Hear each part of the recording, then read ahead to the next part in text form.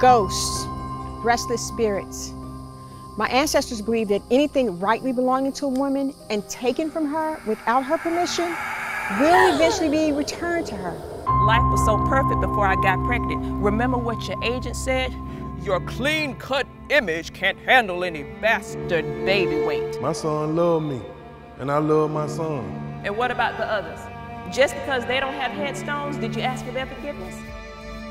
So what, you want to leave me now? I think I saw a ghost. But it was it was more than just saw. I, I, I know I had a full conversation with the ghost.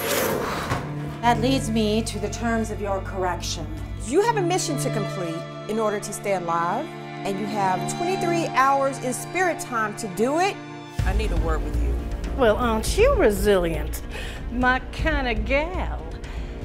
But I don't need elevation to do anything for me. Miss Marilyn Monroe? Intriguing implies you are in the present. You are not anymore, you are dead.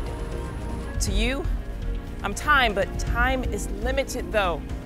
Well, it's better to be alone and dismayed than it is to be with someone and be sad. You don't have to be sad. I can honestly help you. Omega, what's the status on?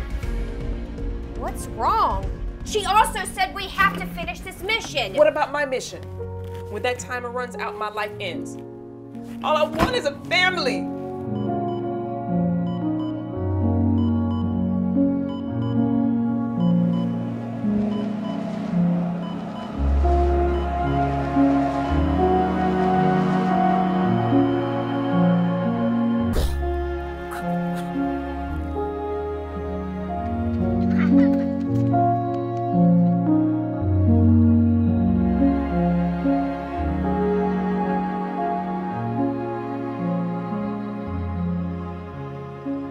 Release.